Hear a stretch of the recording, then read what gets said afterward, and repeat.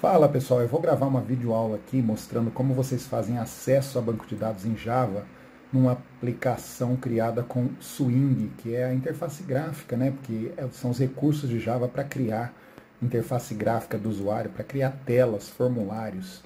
Então, eu vou aqui eu estou com o meu NetBeans aberto, eu vou criar um projeto no NetBeans, então eu vou aumentar um pouquinho o zoom da minha tela para facilitar aí a tua visualização. Então vamos lá, jogar um zoom aqui de 175%, que é um zoom um pouco melhor aí para visualizar a tela do NetBeans. Então beleza, vou começar do zero, tá? Então nós vamos criar um projetinho no NetBeans, vou em File, New Project, per, é, vou criar aqui um, um projetinho Java with Ent, eu estou usando NetBeans versão 16, então nessa tela de criação do projeto eu vou em Java with Ent, Java Application do lado direito, vou clicar em Next, aqui eu vou colocar o nome do meu projeto, então eu vou criar um projeto aqui chamado é, Sistema. Então esse vai ser o nome do meu projeto, vou deixar nessa pasta padrão mesmo do NetBeans, vou desmarcar essa opção Create Main Class aqui embaixo, porque eu não vou criar uma classe principal, eu vou criar um projetinho Java, que nada mais é do que uma pastinha que você grava no teu HD ou SSD, e nessa pastinha eu não vou criar programa nenhum por enquanto, só vou criar o projeto, só vou criar essa pastinha chamada sistema. Vou clicar em Finish. Aí a, as telas, né, a classe principal né, que, da, da minha aplicação, a que vai abrir quando eu der play na aplicação, eu vou criar na sequência. Então ele criou aqui, ó, do lado esquerdo da tela, um projetinho chamado Sistema. Eu abro clicando na setinha do lado esquerdo de Sistema, na setinha do lado esquerdo de Source Package, você vai ver que não tem nada. Agora eu vou criar a minha classe principal. Então eu vou criar uma tela de login, onde o usuário vai digitar o usuário e senha, e quando ele digitar, clica no, clicando em entrar, ele vai para um menu, e a partir desse menu ele executa operações que ele quiser no, no, no sistema. Nós vamos fazer aqui um controle de funcionários e departamentos de uma empresa. Então vou fazer o seguinte, vou clicar com o botão direito sobre Sistema, vou na opção New, e vou criar um JFrame Form, que é uma classe Java para criar formulário, telinha gráfica onde eu posso pedir informações para o usuário. Então, sempre que eu crio um projetinho vazio, sem nada, e quero criar formulários, eu vou clicar com o botão direito, vou em New JFrame Form. Procura aqui nessa listinha. Aí eu vou colocar primeiro o nome de tela login. Tela login, nome de classe sempre com as primeiras letras de cada palavra maiúsculas. E no Package eu vou gravar isso daqui numa pastinha chamada telas. Package é uma pastinha na tua aplicação. Então dentro da tua aplicação você vai criar uma pastinha chamada telas aqui no Package. Dentro dessa pastinha telas você vai colocar o telalogin.java que é a tua classe. Vou clicar em Finish lá embaixo. Ele vai criar então para mim a primeira tela. Então isso daqui é um formulário. Ele criou aqui o formulário tela login, você pode ver do lado esquerdo dentro dessa pastinha telas. Aqui os procedimentos já são bem conhecidos, eu preciso ter liberdade para desenhar a minha tela, então o NetBeans ele traz, o Java traz um monte de modelo de layout de tela pronta, eu não quero usar nenhum desses modelos de layout, então eu vou clicar com o botão direito aqui, vou na opção Set Layout, no Layout aqui, beleza. Aí a, a opção no Layout, ela me dá a liberdade de fazer isso, ó. eu posso arrastar os controles aqui, eu estou arrastando um label, aqui do lado esquerdo, colocando aqui na tela, eu coloco onde eu quiser e ele não reclama. Para alterar o texto desse label, clico com o botão direito, vou em Edit Text, então vou pedir aqui o nome do usuário, né? E depois eu vou arrastar também um Text Field aqui, ó, Text Field é esse campinho aqui que eu coloco na frente, botão direito, Edit Text, vou deixar vazio esse Text Field. E aí, na verdade, eu quero pedir usuário e senha. Então é melhor eu selecionar esses dois, esse label e esse text field que eu arrastei daqui, ó, label foi daqui, text field eu arrastei aqui, ó, do lado direito da tela. Então, esse label e esse text field eu vou selecionar eles, vou dar Ctrl C e Ctrl V, então ele cola em cima, eu puxo aqui, ó, e apenas altero aqui para senha, para eu não ter que arrastar de novo um label e um text field. Então aí eu tenho o campinho pedindo usuário e senha. Aí eu vou pegar um button lá do lado direito, vou colocar aqui, ó. Quando eu dei o set layout no layout no formulário, é para que eu tenha essa liberdade de colocar as coisas onde eu quiser. E aqui eu vou dar um edit text, vou colocar nesse cara o texto salvar. salvar não, entrar, né? Essa vai ser a tela de abertura do meu entrar, do meu sistema. Beleza, então defini isso daqui. Se eu der play lá em cima, vai aparecer, ó, se eu der play, ele vai perguntar se essa é a classe principal, esse tela login, eu vou colocar OK, ou seja, essa é a classe principal, mas ele vai abrir pequenininho lá em cima. Se você observar, ó, ele vai abrir, olha lá, minimizadinho lá em cima. Ó, eu tenho que ficar aumentando aqui para ver, tá vendo? Para que ele não abra minimizado lá em cima, você tem que fazer o seguinte, você tem que clicar nessa tela aqui, ó, no teu formulário, que é essa telinha aqui, né?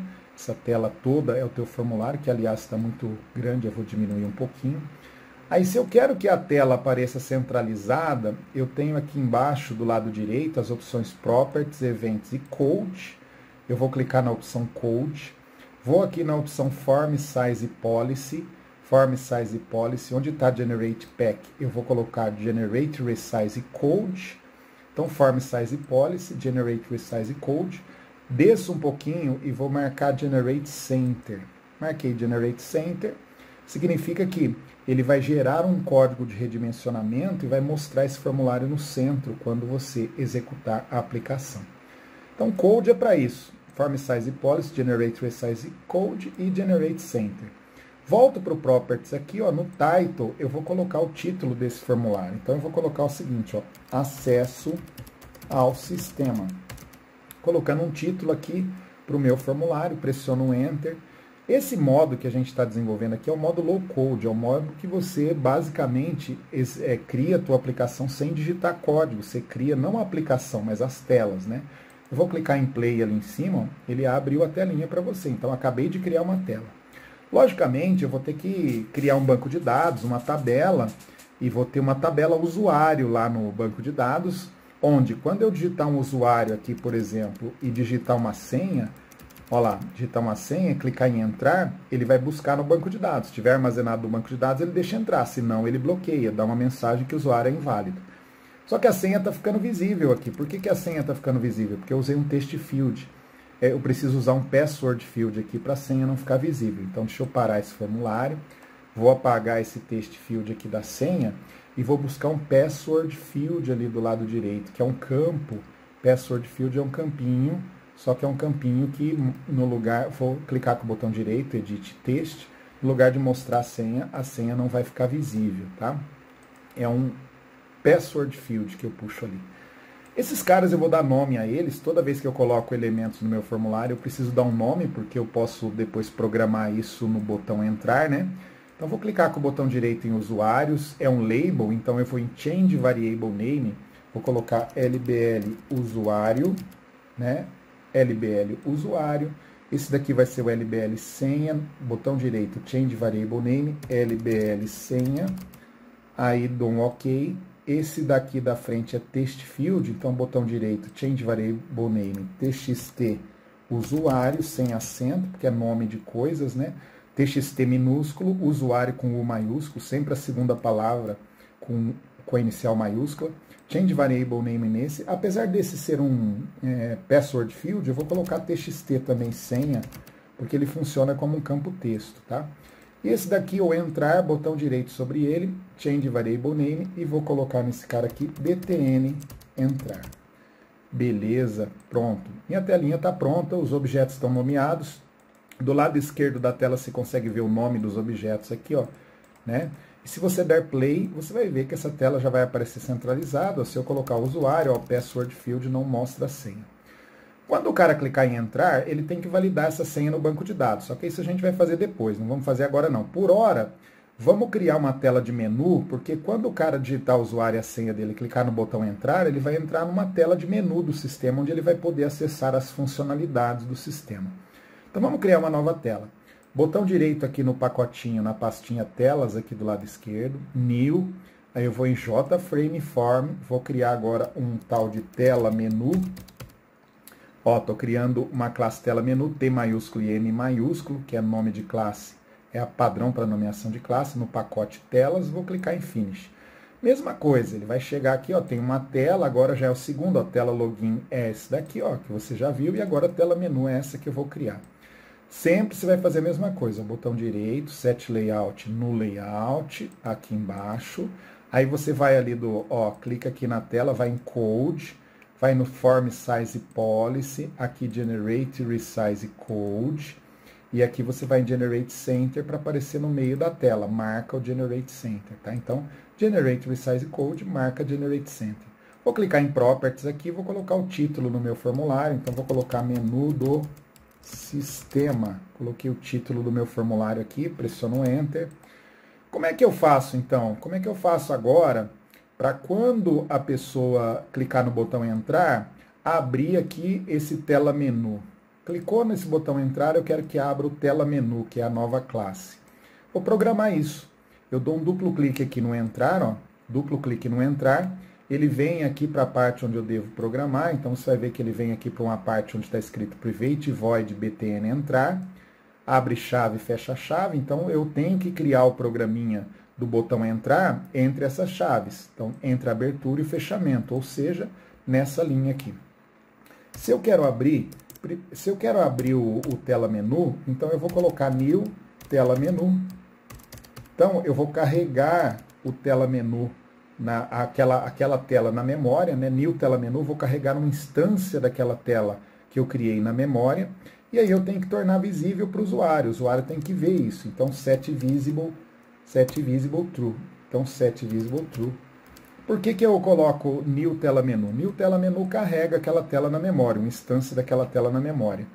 E o set visible true é para não ficar só na memória, para ficar visível para o usuário ver aquela tela. Tá? Então, Basicamente, toda vez que você quiser abrir uma nova, um novo formulário, né, nesse caso, ao clicar no botão entrar, é só colocar new o nome da, da, classe do novo formulário. Isso aqui é o construtor da classe, é um construtor in, é implícito, basicamente ele vai carregar a classe na memória. Ponto set visible true que vai tornar a, a tela visível.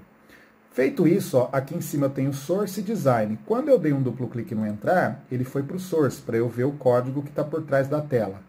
Quando eu clico no design ali, eu volto para a tela. Então, source vê o código, design, você vai conseguir é, ver a tela. Eu vou dar play para você ver, ó. vou dar play.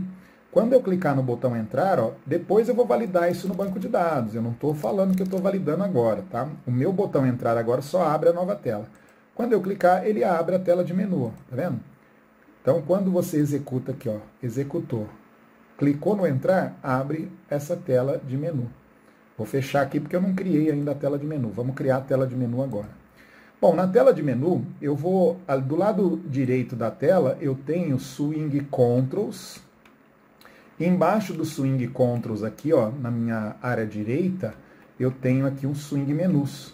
Então eu vou abrir aqui o Swing Menu. Você pode até fechar, ó, clicando no, nesses itens, ó, você abre e fecha esses itens da paleta do lado direito da tua tela, você abre e fecha aqui. Então eu vou fechar aqui o swing controls e deixar só o swing menus aberto. Vou arrastar o menu bar, olha lá, arrastei o menu bar para a tela. Vou clicar com o botão direito aqui, Edit Texto, vou colocar essa opção Departamento. Então vai ser o meu controle de departamentos. Essa segunda opção Edit, botão direito, Edit Texto. Essas opções já aparecem, tá? Vou colocar funcionários para criar uma, um menu de funcionários. E vou criar uma, um, vou em, em cima dessa barra cinza, eu vou clicar com o botão direito em cima dessa barra de menu, vou adicionar menu, add menu, e aqui eu vou colocar ainda, terceira opção, usuários, porque eu vou querer controlar os usuários, aqui eu devo acentuar, porque é o que vai aparecer pro, pra, na tela, né? E uma quarta opção, ajuda. Então, add menu, a quarta opção que eu vou colocar aqui vai ser ajuda. Edit text, ajuda. Eu não vou criar todas as opções, não. Vou criar apenas uma opção que é departamento para você visualizar, para você trabalhar nesse período, tá?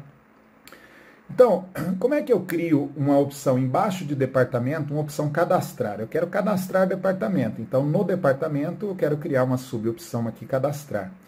É mais fácil eu clicar com o botão direito em cima de departamento, vou add from palette, add from palette e vou em menu item eu quero adicionar um menu item no departamento. E aqui eu clico com o botão direito, vou em editar e vou colocar cadastrar. Logicamente, se eu quiser colocar mais opções, ó, botão direito em cima de departamento, vou em add from palette, menu item e posso colocar, por exemplo, além de cadastrar, eu posso colocar aqui, opa, de vez em quando acontece isso, né? Quando você dá um duplo clique sem querer em cima de uma opção, ele vai para o código fonte, e, opa, cadê? Ele vai para o código fonte aqui, source, aí você clica no design lá em cima para voltar, tá? Botão direito em cima desse segundo, dessa segunda opção do menu, edite texto, eu vou colocar consultar. Eu não vou colocar todas as opções não, vou colocar só aquelas que eu preciso agora para trabalhar, tá? Então, aqui eu tenho a opção cadastrar e consultar. Se eu der play aqui, ó, vou dar play para você ver, como ficou esse nosso menu, quando eu clicar em entrar, ele abre aquela tela e, ó lá, departamento já tem cadastrar e consultar, tá? Tem essas duas opções aqui. Eu posso até colocar aqui no shortcut, à direita da palavra cadastrar, tem um shortcut. Posso colocar uma tecla de atalho, Ctrl Alt C, por exemplo. Então, vou dar um duplo clique nesse quadradinho shortcut à direita da opção cadastrar. Aqui eu vou colocar C e vou marcar Ctrl Alt. Então, Ctrl Alt C vai acionar essa opção cadastrar. Então você pode colocar a tecla de atalho nas opções do menu se você quiser. O Ctrl Alt C vai ser o que representa essa opção cadastrar. Vamos fazer a opção cadastrar. Quando eu clicar na opção cadastrar, vai abrir uma tela para eu cadastrar departamento. Tá? Cadastrar o código do departamento, o nome, o telefone do departamento e assim por diante. Então como é que eu vou fazer essa tela? Eu vou criar uma nova tela. Clico com o botão direito ali em telas, vou em New JFrame Form, vou chamar de tela departamento, olha lá, tela departamento, T maiúsculo e D maiúsculo. Vou clicar aqui, então, na opção Finish. Mesma coisa, toda vez que eu crio uma tela, botão direito, Set Layout no Layout, para eu ter liberdade para trabalhar com essa tela. Vou na opção Code, ali do lado direito, Form Size Policy, seleciono Generate Size Code e Generate Center.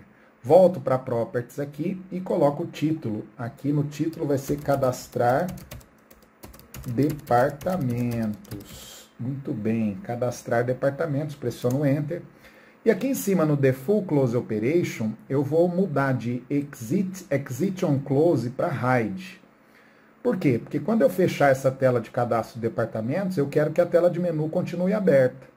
Se eu deixar aqui Exit on Close, quando eu fechar essa tela aqui, ela, ele vai fechar também a tela de menu anterior. Então eu mudo aqui para Hide. Quando eu mudo aqui para Hide, significa quando eu fechar essa tela, ele não vai fechar a tela de menu, vai fechar só essa tela de menu que está por baixo, vai continuar aberta para eu escolher outras opções do menu. Então por isso que eu mudo o Default Close Operation para Hide, tá? Bom, vamos criar essa tela aqui. Para criar essa tela eu vou precisar do Swing Controls ali em cima, ó, das ferramentinhas então eu vou colocar aqui o código do departamento, então vou colocar um label e um text field, vai ser o código do departamento, vou ajustar o tamanho desses, desses elementos que eu quero aqui. E aí eu vou fazer o seguinte, ó, código do departamento. Eu vou clicar com o botão direito, edit text, aqui então vai ser o código do departamento, aqui ó, vai ser botão direito, edit text lá em cima, vou deixar vazio. E aí eu vou tirar cópia desse cara, vou selecionar ele, vou dar um Ctrl C, Ctrl V, arrasto para baixo a cópia, vai ser o nome do departamento, Ctrl V de novo, arrasto para baixo, vai ser o telefone do departamento. O nome do departamento vamos deixar um pouco maior. Botão direito, edit text, então aqui vai ser o nome do departamento, aqui vai ser o telefone do departamento, então edit text, telefone do departamento. E eu vou nomear, ah, vou colocar um botão salvar aqui, vou colocar um botão. Esse botão salvar vai salvar os dados desse formulário no banco de dados. Então eu vou clicar com o botão direito, edit text, vou colocar aqui salvar, que é na verdade o botão que eu estou criando. Vou dar nome a esses caras, tá? Você sabe que é, eu preciso dar nome para depois eu programar isso, né? Botão direito no código, Change Variable Name, LBL código sem acento, que eu estou dando nome a esses elementos. Nome, Change Variable Name, LBL nome, Change Variable Name em cima. Eu vou nomeando LBL telefone. Veja, isso daqui eu vou nomear com nomes que fazem sentido. LBL de label, telefone, que é o item que está aqui na tela. Esse cara aqui, ó, change variable name, txt código, sem acento. Pode mudar o nome? Pode, mas tem que ser um nome que faça sentido para você. Change variable name nesse daqui, txt nome. Aqui, telefone, botão direito, change variable name, txt telefone. Beleza, vou dar um OK aqui. Botão salvar é btn, change variable name, btn salvar. Beleza. Agora, Quando na tela de menu eu clicar na opção cadastrar departamento, ele vai abrir esse tela departamento, tá? Então no menu eu preciso programar essa opção cadastrar para quando ela for clicada abrir o tela departamento. Então vamos lá. Vou lá no menu, vou dar um duplo clique na opção cadastrar e vou programar ela. Ó. Ele vem aqui, opa, eu não dei nome para ela. Vamos dar nome para ela primeiro, né? Então, primeira coisa, para dar nome aqui, ó, botão direito, Change Variable Name. Esse daqui vai ser um MNU departamento. Vou nomear esse departamento como MNU departamento.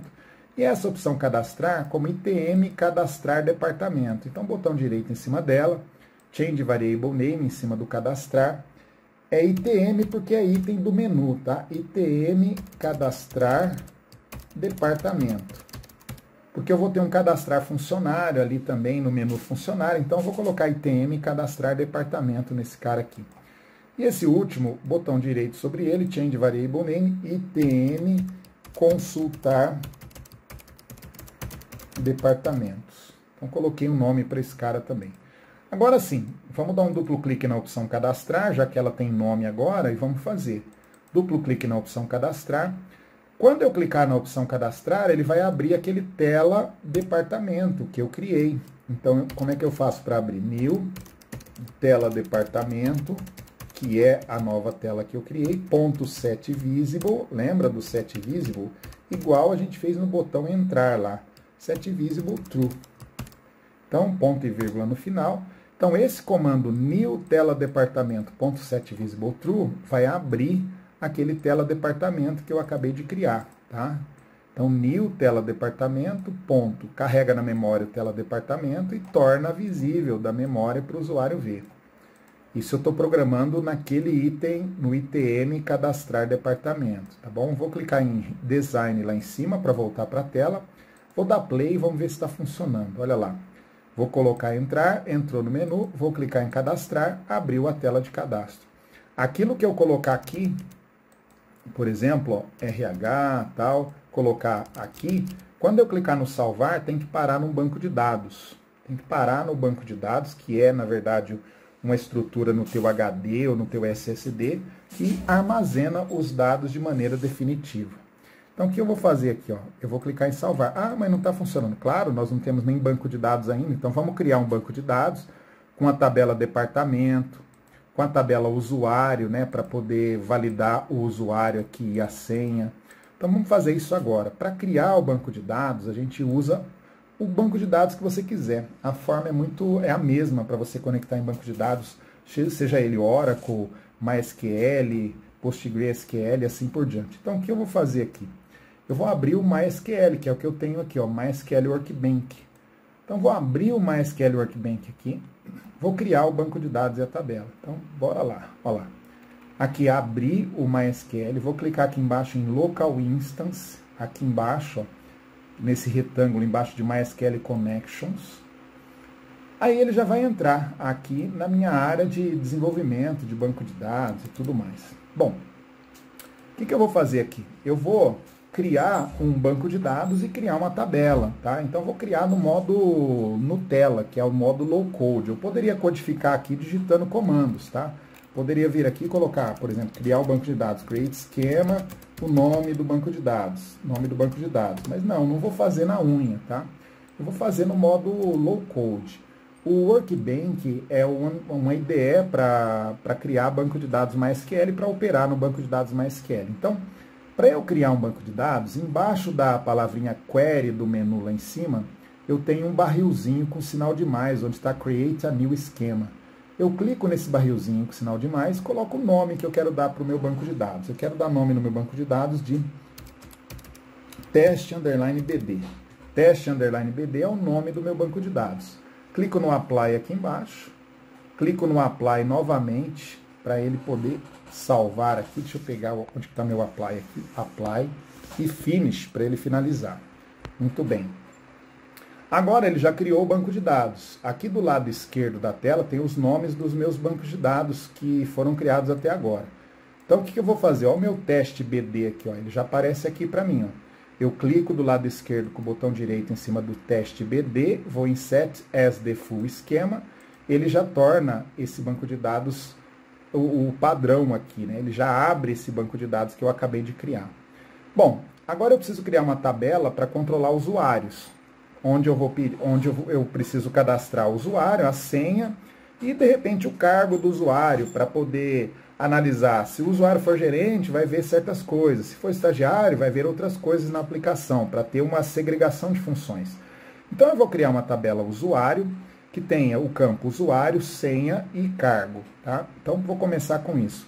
Clico com o botão direito aqui ó, do lado esquerdo da tela na opção Tables, vou em Create Table e aí eu vou criar uma tabela chamada usuários, sem acento, né, porque nome de tabela, nome de coisa, a gente não coloca acento.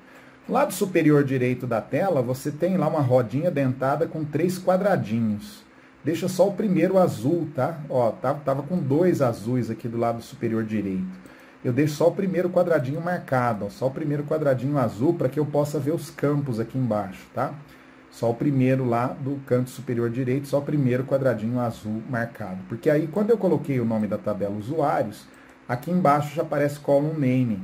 E aí eu vou colocar o seguinte, usuários vai ter o campo usuário, que vai ser um campo composto por letras, o nome do usuário é composto por letras, então é varchar. Para colocar o nome do usuário, eu, eu acho que 40 espaços dá. Veja que ele tem uma chavinha, porque o usuário não pode se repetir, não pode ter duas pessoas com o mesmo usuário dentro da empresa.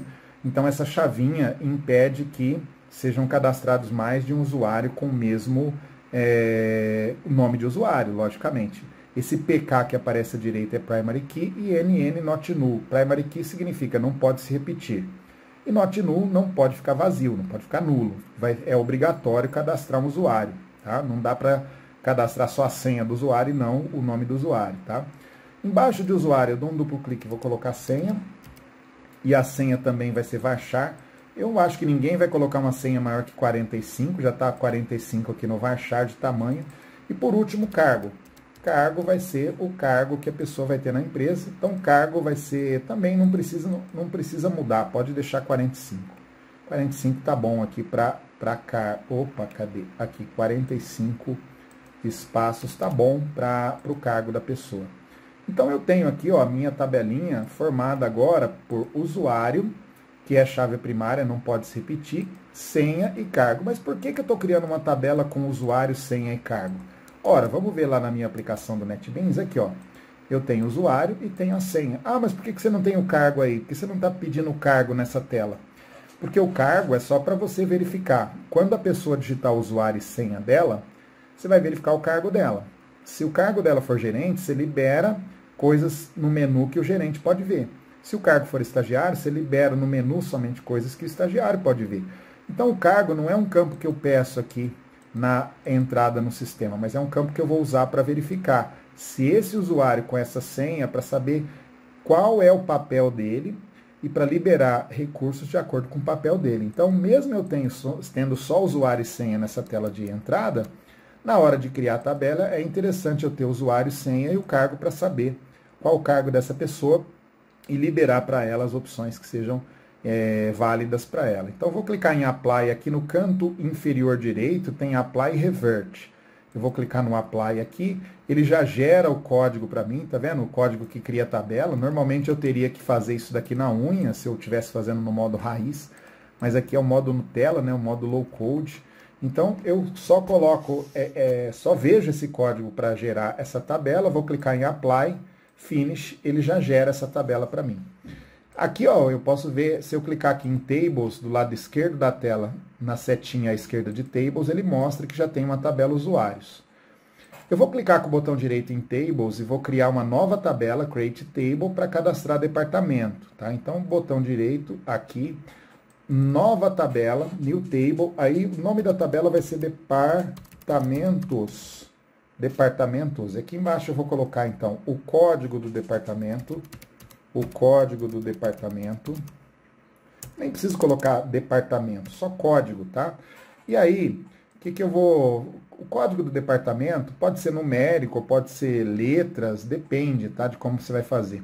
Eu vou colocar o código do departamento aqui como número inteiro, tá? Vai ser primary key, não vou poder repetir. Então, se eu tiver um departamento de número 1, não posso ter outro departamento de número 1.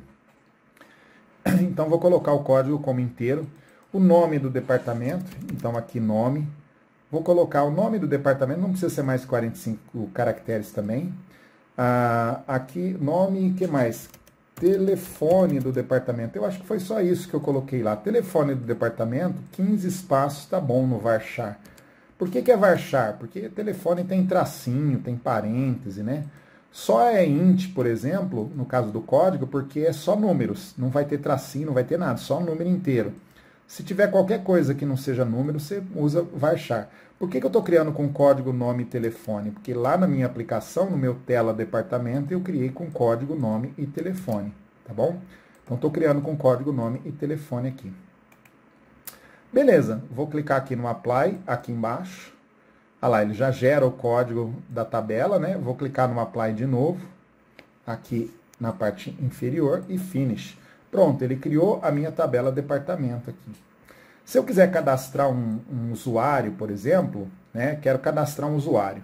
Então, do lado esquerdo tem a minha tabela usuário, tem três ferramentas à direita, um izinho, uma chavinha de, de roda e um, uma tabelinha.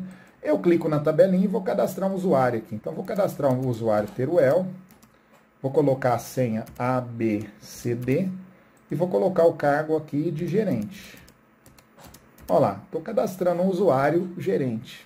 Posso cadastrar uma usuária, por exemplo, Ana, colocar a senha 123 e o cargo, por exemplo, é estagiária. Então, olha lá, estou digitando o cargo de estagiária. Para eu salvar essas informações aqui, eu posso aumentar aqui se eu quiser, para eu salvar essas informações nessa tabela usuários, né? Essa tabelinha usuários que eu criei, eu clico no apply no canto inferior direito. Ele já gera os comandos que inserem esses dados na tabela do banco de dados. Ele já gera o comandinho que, que executa, que insere esses dados na tabela usuários. Vou clicar em apply aqui embaixo, finish Pronto, esses, então eu já tenho dois usuários cadastrados. Mas eu não vou cadastrar o usuário por aqui, eu vou cadastrar lá pelo Java. Eu só estou cadastrando esses dois usuários porque eu vou querer validar. Eu tenho um botão entrar lá, que quando a pessoa clicar no botão entrar aqui, ela vai digitar a senha e clicar no botão entrar, eu tenho que buscar lá na tabela usuários do banco de dados para ver se esse usuário existe. Então, eu cadastrei dois usuários lá para eu poder testar isso quando eu clicar no botão entrar, quando eu programar o botão entrar tá bom? Mas aguenta aí no próximo vídeo, que agora a gente vai fazer a programação no próximo vídeo, porque eu já tenho a tabela usuários, para poder validar a entrada do usuário no sistema, tenho a tabela departamentos, para poder fazer o cadastro de departamento aqui, ó, salvar os departamentos, código, nome e telefone do departamento para jogar. O que eu digitar aqui tem que parar na tabela departamentos do banco de dados. E aí, se eu quiser cadastrar 30 departamentos, os 30 que eu cadastrar por aqui vão parar lá naquela tabela do banco de dados, vão ficar armazenados lá para que se eu quiser recuperar depois, verificar depois, eles continuarão armazenados lá. Por isso que serve um banco de dados. Tudo que você cadastra na tua aplicação aqui, isso vai parar num local onde os dados ficam armazenados de maneira segura, tá? Mas isso a gente vai fazer depois. Então, aqui a gente já fez uma tela login, que precisa de uma tabela de usuários para validar a entrada do usuário. Fizemos uma tela de menu, que é o que, que o usuário vai ver depois que ele logar. E aí fizemos um cadastro, tela para cadastrar departamentos, para ser uma das opções do menu que vai cadastrar na tabela departamento do banco de dados. Aguenta aí no próximo vídeo. Aguenta aí que no próximo vídeo você vai ver aí essa parte funcionando. Nós vamos cadastrar departamento aí no próximo vídeo. Aguenta aí um pouquinho.